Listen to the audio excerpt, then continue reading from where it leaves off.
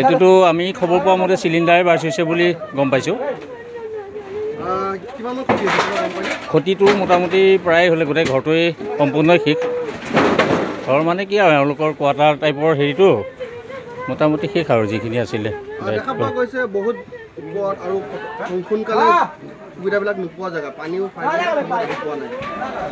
আৰু ফায়াৰ ব্ৰিগেডৰ মানুহ খুব সোনকালতে আহিছিলে কিন্তু ইমান ওখ আৰু মানে পানীৰে পাইপেও ঢুকি নাপায়। সেইটো কাৰণে আচলতে আমাৰ অলপ হেৰি হ'লে কিন্তু আমি খুব সোনকালতে পাইছিলোঁহি ঘটনাস্থলীত।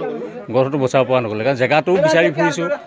ঔগুৰি পাহাৰ বুলি ক'লে এইটো বহুত এটা ডাঙৰ অঞ্চল আৰু ইমান ওপৰত আছে বিচাৰি বিচাৰি আহি উঠোঁতেও বহুত টাইম লাগিছে। আৰু পাইপেও তেনেকৈ পোৱাহি নাই।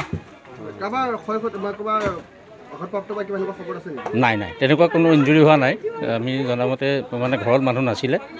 চিলিণ্ডাৰ এটা বাৰ্চ হৈছে। আমি জনামতে। কণ্ট্ৰলত আহি গ'ল এতিয়া আৰু সমস্যা নাই।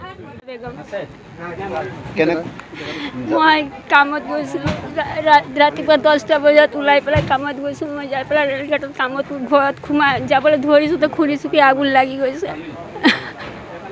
এই জেগাটোৰ নাম কি? অগুৰি পাহাৰ শংকৰ নগৰ? গম নাপাওঁ কেনেকৈ লাগি গৈছে কোনোবা লগাই দিলে নেকি নাজানো মই মই নাছিলোঁ আমিতো কোনো নাছিলোঁ ঘৰত? আমাৰ ঘৰত তোমাৰ ল'ৰা আছে আৰু কি কয় আমাৰ হেজমেণ্ট আছে আৰু কোনো নাই ইয়াতে। নাই একো বচাব পৰা নাই। অঁ।